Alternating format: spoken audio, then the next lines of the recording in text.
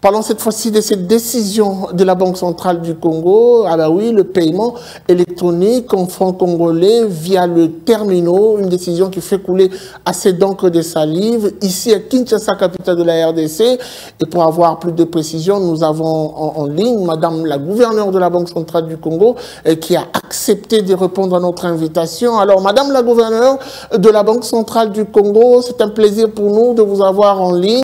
Première question, pourquoi avoir voulu cette décision il s'agit bien d'une lettre qui est partie de la Banque centrale du Congo à ma signature. Il s'agit des terminaux qui sont dans les magasins. À la caisse, lorsque un client a fini de faire ses courses et qu'il arrive à la caisse pour payer, il peut payer avec des billets, tout comme il peut payer avec une carte bancaire. La carte bancaire est introduite dans une petite machine qui peut tenir dans la main. C'est ça le terminaux de paiement électronique. Et donc le client introduit sa carte bancaire pour payer les achats que le client venait de faire. Il faut faire la différence. Et c'est là où on a vu une certaine confusion dans certaines communications dans les réseaux sociaux avec ce qu'on appelle les distributeurs automatiques des billets. Les distributeurs automatiques des billets, c'est les machines qu'il y a à travers la ville dans lesquelles vous introduisez votre carte bancaire pour retirer des billets. La lettre dont il est question ne concerne pas du tout les distributeurs automatiques de billets. Les Congolais et les Congolaises vont continuer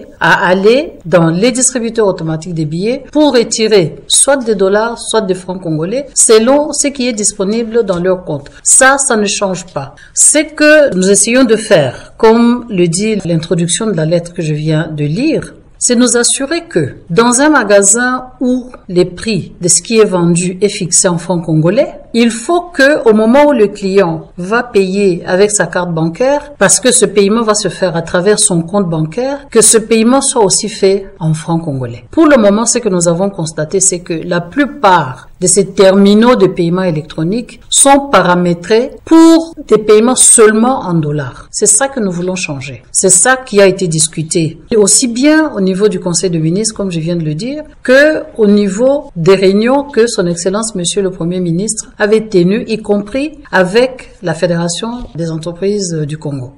On doit quand même dire, aujourd'hui, il y a une sorte d'impasse qui s'observe derrière cette décision, plusieurs avis. Quel est l'objectif principal poursuivi par la Banque centrale du Congo?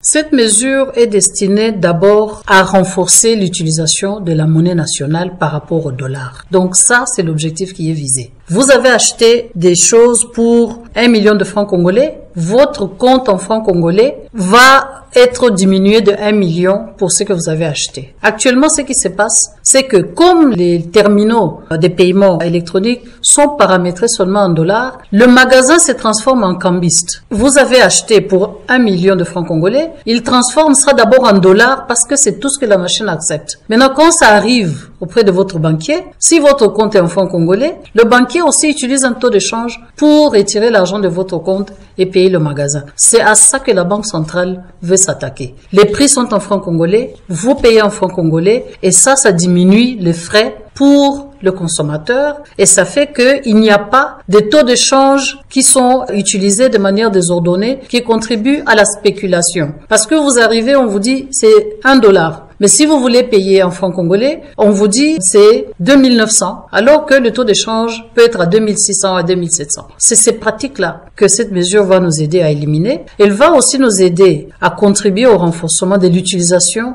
du système bancaire, donc la bancarisation, et il va nous aider à réduire l'utilisation des encaisses. Je suis certaine qu'il y a des gens là dehors qui disent non, avec la carte, on va me retirer ceci, je préfère payer avec euh, les billets. Donc c'est une mesure qui rentre dans le cadre de la panoplie de réformes que la Banque centrale met en place pour soutenir la valeur du franc congolais.